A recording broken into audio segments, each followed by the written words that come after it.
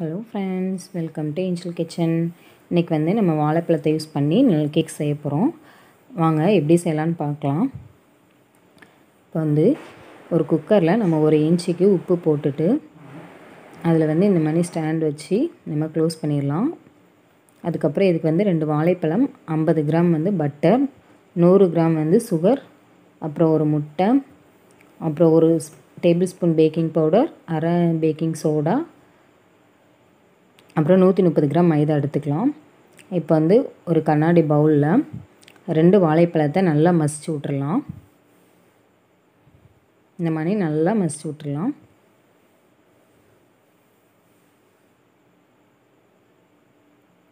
அதுக்கப்புறம் இதில் நூறு கிராம் வந்து நம்ம பவுட்ரு சுகர் ஆட் பண்ணுறோம். இதை வந்து மிக்சியில் நான் பவுட்ரு பண்ணி என்ன எடுத்து வச்சுருக்கிறேன். அதை வந்து இதோடு சேர்த்து நல்லா கலந்து விட்டுறலாம். இது கஷ்டமாக இருந்தால் விஸ்க் வச்சு நம்ம கலந்து விட்டுலாம் நெக்ஸ்ட் நாங்கள் அதை வச்சு தான் பண்ண போகிறோம் இந்த மாதிரி நல்லா பீட் பண்ணிடலாம்.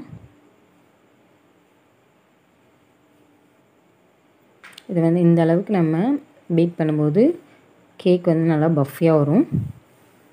அதுக்கப்புறம் ஐம்பது கிராம் வெண்ணெயை வந்து நம்ம இதோட ஆட் பண்ணிடலாம். இது வந்து ரூம் டெம்பரேச்சரில் ஆல்ரெடி நாங்கள் எடுத்து வச்சுருந்தோம். அதே இதில் சேர்த்துடலாம். சேர்த்துட்டு நல்லா திரும்பியும் நம்ம பீட் பண்ணிடுவோம். இந்த மாதிரி ஃபாஸ்ட்டாக நம்ம பீட் பண்ணும்போது கேக் நல்லா வரும். கேக் வந்து ரொம்ப டேஸ்ட் நல்லாயிருக்கும்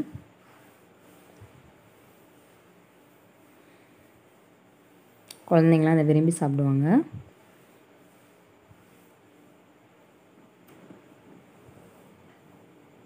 அதுக்கப்புறம் இதுக்கு தேவையான நம்ம வெண்ணிலா எசன்ஸ்லாம் ஆட் பண்ணிக்கலாம். வெண்ணிலா எசன்ஸ் வந்து ஒரு டேபிள் ஸ்பூன் அப்புறம் ஒரு டேபிள் ஸ்பூன் பேக்கிங் பவுடர் அரை டீஸ்பூன் பேக்கிங் சோடா ஆட் பண்ணிக்கலாம். அதையும் திரும்ப நல்லா பீட் பண்ணிடுவோம். அதுக்கப்புறம் நம்ம டேஸ்ட்டை கூடுதல் பண்ணுறதுக்காக ஒரு பிஞ்ச் சால்ட் மட்டும் சேர்த்துக்கலாம்.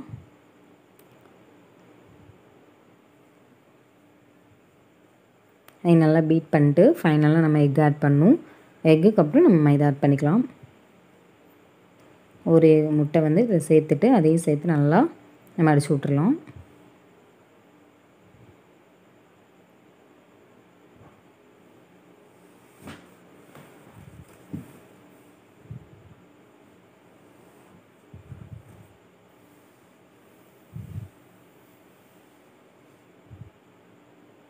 இந்த அளவுக்கு நம்மளுக்கு கலர் கன்சிடென்ஸ்லாம் கரெக்டாக வந்துடும் அதுக்கப்புறம் நம்ம நூற்றி முப்பது கிராம் மைதாவை வந்து சளிச்சு சேர்த்துடலாம்.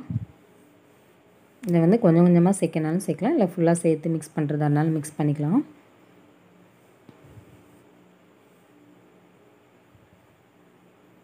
அதையும் சேர்த்துட்டு நம்ம ஒன்று சேர கலந்து விட்டுறலாம்.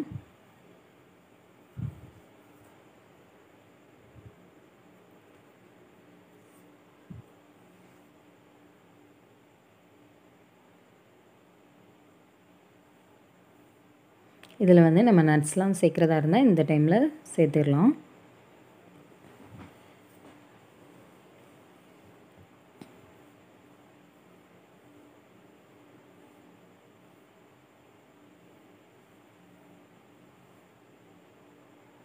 இப்போ இது ரெடியானதுக்கப்புறம் நம்ம கேக் மோல்டு ரெடி பண்ணிடலாம். இப்போ இந்த மோல்டில் நல்லா நெய் இல்லைன்னா பட்டர் சுற்றி அப்ளை பண்ணிடலாம்.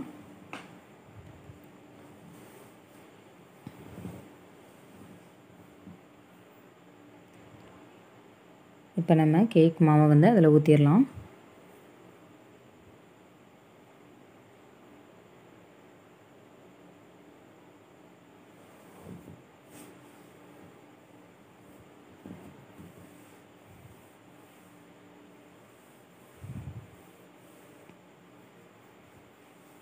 கேக் மாவை ஊற்றிட்டு இதை நல்லா லெவல் பண்ணி விட்டுடலாம்.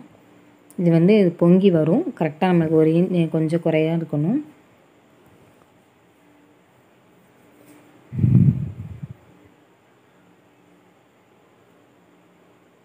இப்போ ஆல்ரெடி நம்ம குக்கரில் நம்ம உப்பு போட்டு வச்சுருக்கோம். அதில் வந்து இந்த இதை நம்ம வச்சிடலாம்.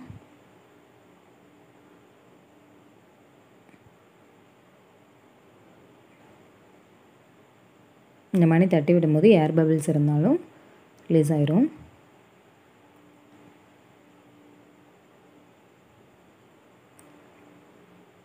இப்போ அந்த கேக் டின்னை நம்ம இதில் வச்சிடலாம். வச்சுட்டு குக்கரை க்ளோஸ் பண்ணி வச்சுருவோம்.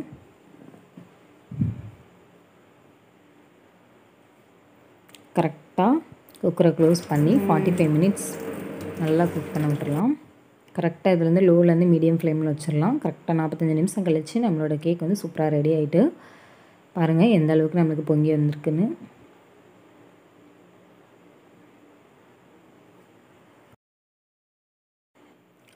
சூப்பராக இதாகிட்டு நல்லா சாஃப்டாக இருக்குது இப்போ வந்து இது வந்து வேறு வே பிளேட்டுக்கு நம்ம மாற்றிடலாம் மாற்றிட்டு கட் பண்ணிடலாம் பீசஸாக இது வந்து டெக்கரேஷனுக்காக முந்திரி பருப்பு போட்டிருக்கோம்.